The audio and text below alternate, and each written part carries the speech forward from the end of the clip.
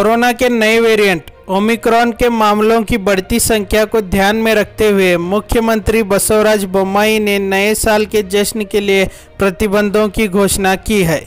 राज्य में 30 दिसंबर से 2 जनवरी तक किसी भी पार्टी या सामूहिक समारोह की अनुमति नहीं होगी। रेस्टोरेंट्स के क्षमता के मुताबिक सिर्फ़ 50 प्रतिशत की अनुमति होगी। और रेस्टोरेंट्स के कर्मचारियों के लिए वैक्सीन के दो डोज अनिवार्य हैं। इसी तरह से अपार्टमेंट्स में भी कोई भी पार्टी या डीजे की अनुमति नहीं है। रेसिडेंट्स एसोसिएशन को यह सुनिश्चित करना होगा कि नियमों का उल्लंघन ना हो। इसी तरह से खबरों के साथ जुड़े रहने के लिए हमारे चैनल को लाइक करें, सब्सक्राइब करें और बेल आइकॉन पे क्लिक करें।